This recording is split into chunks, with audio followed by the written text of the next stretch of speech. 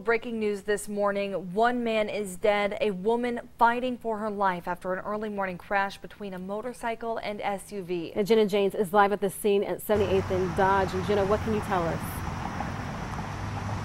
Well, Jordan Serese, this is a very tragic crash this morning at 78th and Dodge. Police have now updated us with the names of all of the people involved in this wreck.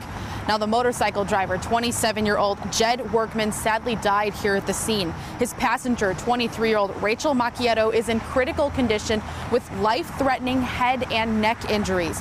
The driver of the SUV, 33 year old Anai Matet Anai, is in serious condition with head and neck pain. He is expected to be okay. According to police, Workman was driving the motorcycle eastbound on Dodge when he ran a red light near 78th Street and crashed into that SUV.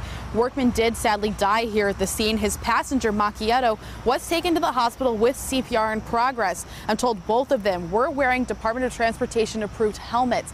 Now, back here at the scene, you can see that Dodge Street is back open at 78th. You will not be facing any traffic restrictions this morning as you head out to work. But Jordan Serese, this crash again, like we said, is just devastating considering how young both Workman and Macchietto were and are. Macchietto, of course, we're hoping makes a full recovery. But on top of that, Workman was celebrating his 27th birthday just yesterday. So tragic. All right, Jenna James reporting live. Thank you, Jenna.